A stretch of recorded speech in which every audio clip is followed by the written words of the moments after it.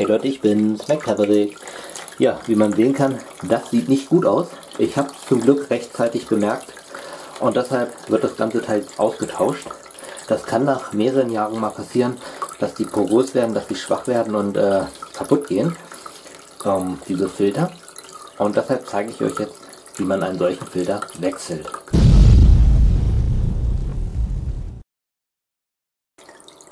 Ja, wenn man Wasserschaden hat, dann stellt man als erstes ganz klar das Wasser ab. Da hat man einmal hier so ein Rad hinter der Uhr und dann ähm, habe ich hier auch noch ein Rad direkt vor dem Wasserfilter.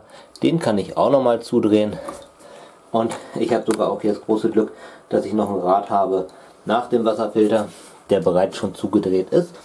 Und jetzt ist dieser Bereich hier ja, vom Wasser getrennt und somit kann ich jetzt dann diesen Filter ja, auseinanderbauen bzw. abbauen.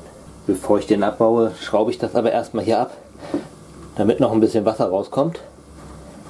Ja, dann dreht man einfach hier so ab. So macht man das übrigens dann auch beim Filterwechsel. So, ab ist das gute Stück. Und jetzt werden wir hier links und rechts eben die Schrauben lösen.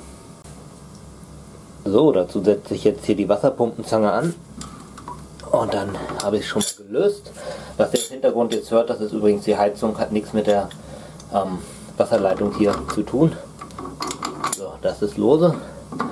Und dann machen wir den anderen auch noch lose.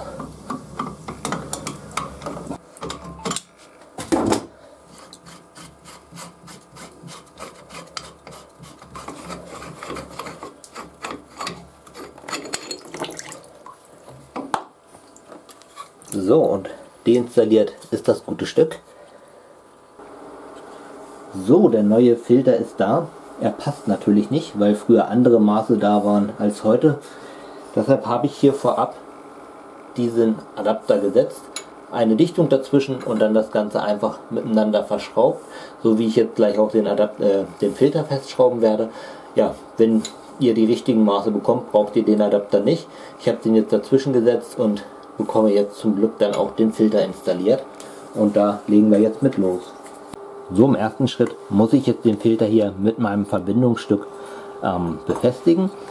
Ja, ich habe schon mal hier die Dichtung aufgelegt, das heißt ähm, hier ist eine Schraube und äh, ja, an der Schraube ist eine Unterlegscheibe und dann kommt halt die Dichtung drauf. So, als nächstes kommt dann jetzt hier das Verbindungsstück drauf, das ich hier auf die Dichtung drauflege. Dann kommt eine Unterlegscheibe entsprechend drauf. Und dann die Schraube, das mache ich natürlich an allen vier Schrauben und die muss jetzt noch schön festgezogen werden. Da brauche ich einen Achter Schlüssel für oder so ein Werkzeug hier und dann kann ich das festziehen. So, nachdem ich das jetzt hier befestigt habe, ähm, kann ich es montieren. Ganz wichtig, wenn ihr die Schrauben hier anzieht, macht das immer so über Kreuz, damit auch die Dichtung sich gleichmäßig dann hier entsprechend setzt. So, und jetzt können wir das einmal anmontieren. Ganz wichtig, vergesst auch hier die Dichtung nicht. Ja, zwei Stück, für jede Seite eine.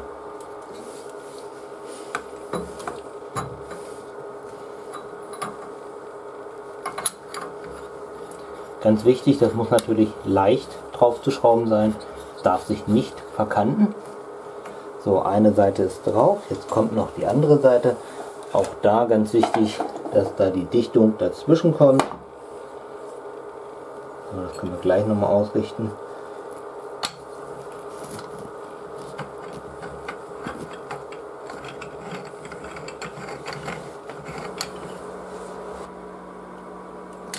So, und dann ist natürlich auch wichtig, dass ihr das noch mit der ja, mit einem Werkzeug hier richtig schön festzieht.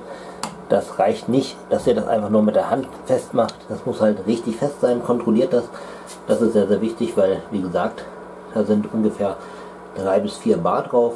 Das stellt der ähm, ja, Betreiber zur Verfügung und das sollte das Ganze natürlich auch schon standhalten. So, wenn ihr dann wieder fertig seid, dann dreht ihr einfach das Wasser entsprechend wieder auf.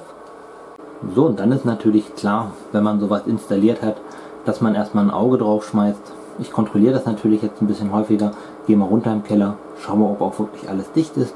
Momentan sieht es gut aus, es läuft. Und ähm, ja, ich hoffe, dass diese kleine Anleitung hilfreich war für euch.